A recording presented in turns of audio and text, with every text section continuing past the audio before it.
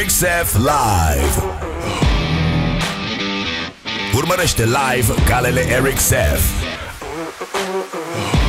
Înregistrează-te în contul tău Eric Seth și bucură-te de o experiență fluidă de vizionare oriunde. Intră în universul Eric Seth.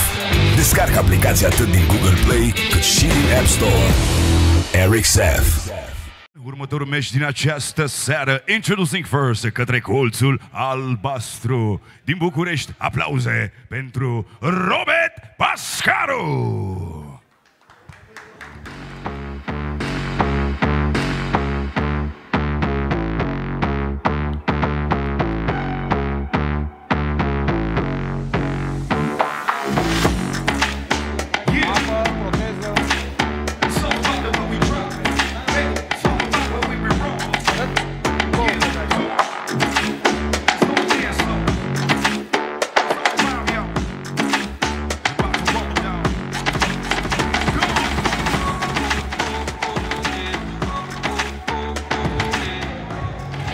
Intrăm în uh, cușcă de data aceasta cu Robert Pascaru, 21 de ani, 1,80 m. După cum a spus colegul meu, Ionuț Atodiresei, Robert a fost pregătire rezervă de către stafful Eric Sef. Cu mai puțin de o săptămână a mers și la câteva antrenamente, dorindu-și să intre în cușcă. Iată că nu e pentru cine se pregătește, ci pentru cine se nimerește. Se mișcă.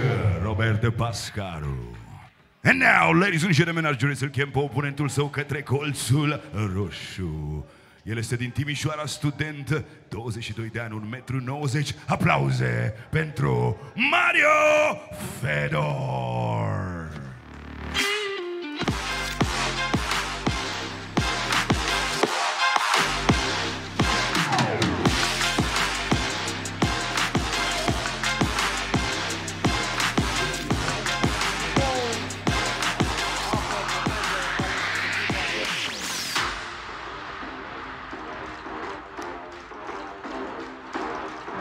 Mario Fedor este din Timișoara, are 22 de ani, 1,90 m înălțime, este student, a fost și cu noi în Dubai și l-am cunoscut prea bine. Și coleg cu mine în apartament, am mâncat cea mai bună omletă. Timp de șapte zile am tratat. Se mișcă foarte bine și în picioare și pe partea de sol. Are un plus în fața lui Robert Pascaru, pentru că Robert Pascaru n-am apucat să lucrez cu el nimic la sol până în acest moment, pentru că a venit de puțin timp și am zis că va lupta la următorul uh, Next Fighter și vom avea timp să lucrăm. All right, ladies and gentlemen, în colțul albastru, vârstă 21, 1 metru 80 din București, el este student. Aplauze pentru Robert Pascaru! That's what's up. În colțul roșu, 22 de ani, 1 metru 90 din Timișoara, de asemenea student. Aplauze, everybody, pentru Mario Fedor! Doamnelor și domnilor, vor fi trei runde a trei minute fiecare. Arbitru de ring, Marvin Beleciu. Indicațiile mele. Dați mâna dacă vreți. În colț.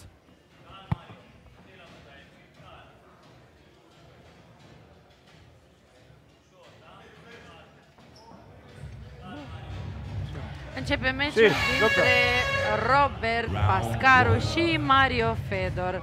Uh, Robert a venit în calitate de rezervă, după cum a spus și Pe Ionuț partea de Arturesei. striking se mișcă destul de bine. Robert atacă și foarte agresiv. Acum să-l vedem cum stă cu energia. Dacă îl duce jos, va avea probleme mari Robert, pentru că nu știe, nu știe mare lucru pe sol. Și aici se încheie lupta. Se vede că Fedor este mai experimentat ca el.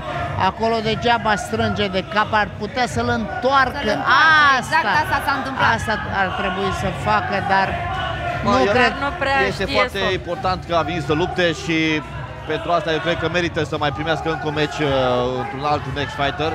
Pentru Acum că va trebui să lovească Robert Da. Pascaru. Uite-l că a reușit să ajungă peste, peste Mario. deci, asta vreau să zic, faptul că a venit să lupte, nu știe, n- nu cunoaște uh, lupta, n- n-are, n-are pregătirea, dar se pare că totuși are inimă să-și dorește să lupte.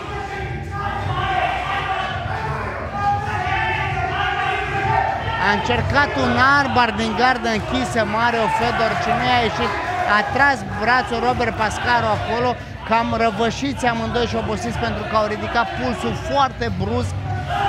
S-a consumat mult acolo la sol. Văd că este un meci destul de disputat și Robert Pascaru chiar arată că are inimă de luptător, a ieșit dintr-o situație dificilă. Da, ținând De, cont că de e ce, pentru de ce prima s-a dată abținut din oare? pușcă. Pentru prima dată contramen puțin și luat așa din Da. oală, hai că trebuie să lupți de la vestiar. N-am apucat să te felicit, Ionuț, că a câștigat Daniel Drugă, deși n-ai Mulțumesc. avut foarte mult timp să lucrezi cu el și de această dată ai dovedit cât sunt în palmaresul tău.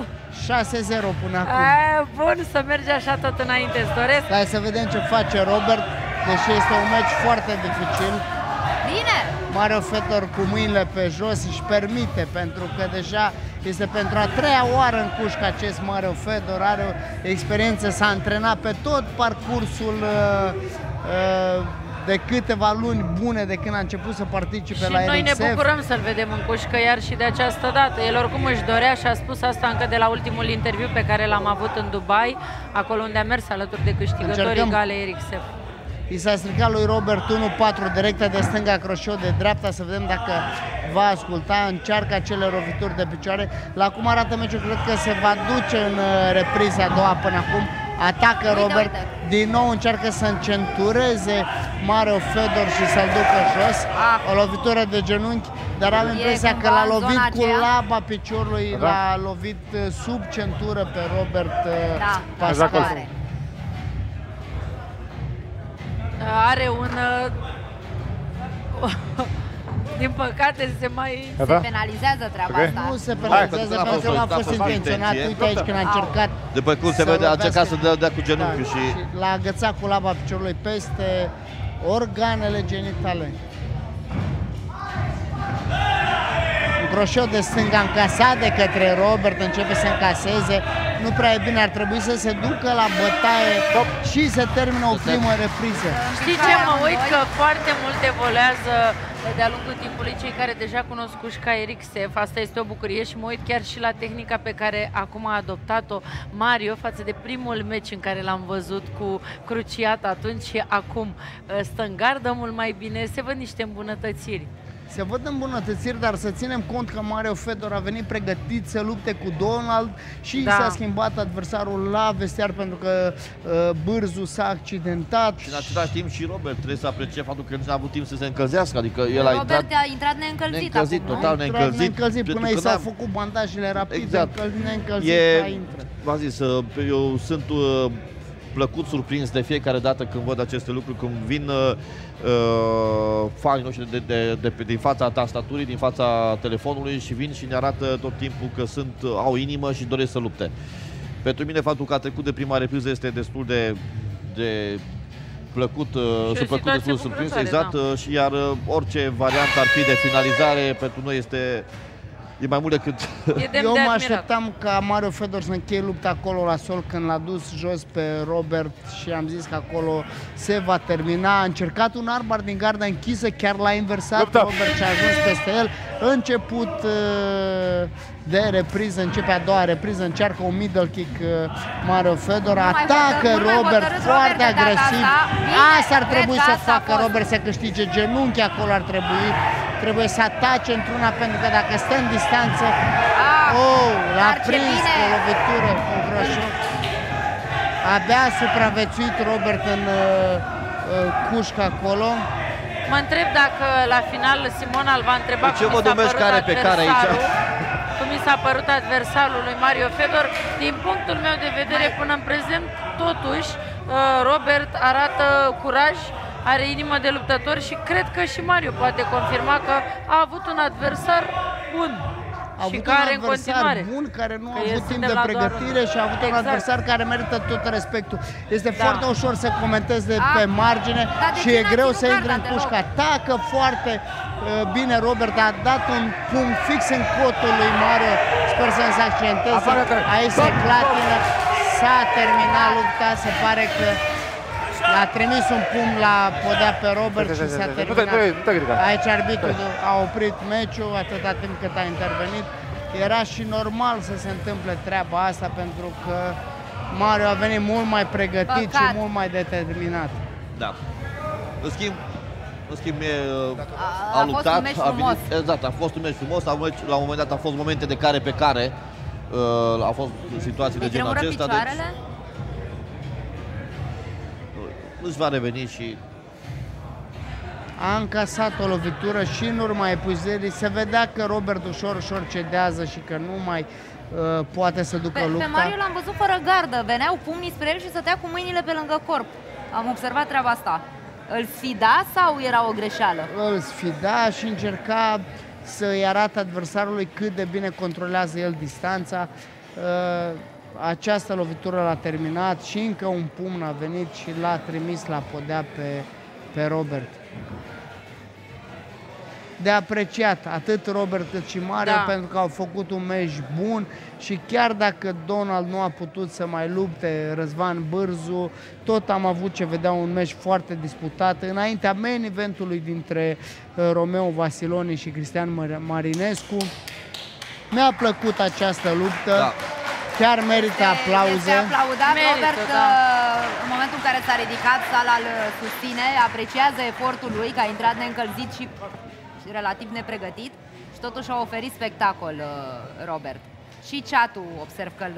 uh, Alright, ladies and gentlemen, câștigător printr-un knockout. Aplauze pentru Mario Fedor!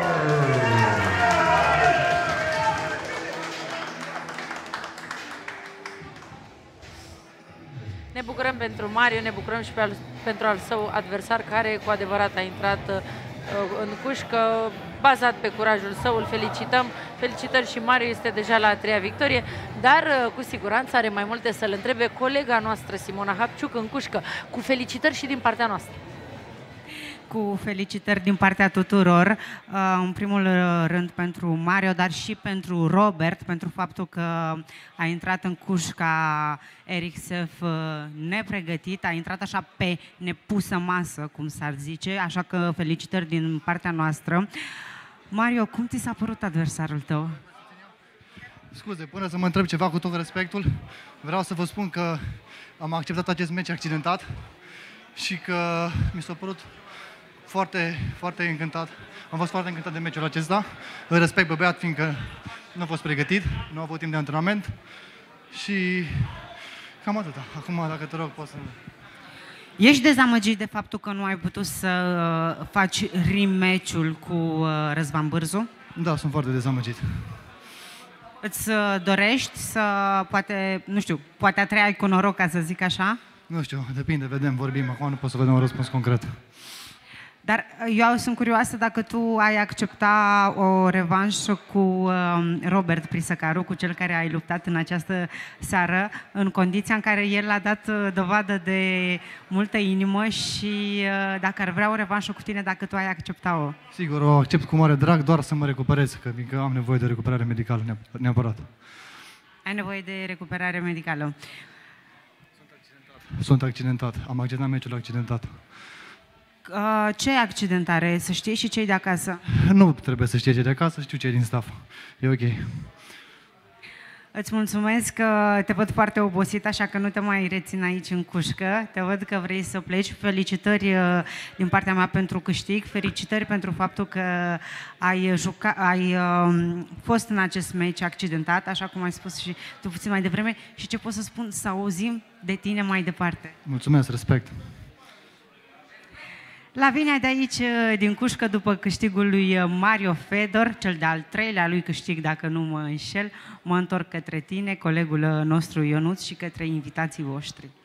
RXF Slap 3 Înscrie-te acum pe rxf.ro la RXF Slap 3 Așteptăm cei mai mari și spectaculoși concurenți. Premiul 1 100.000 de ron Premiul 2 50.000 de roni Premiul special 15.000 de roni. Fii tu următorul câștigător RXF Slap 3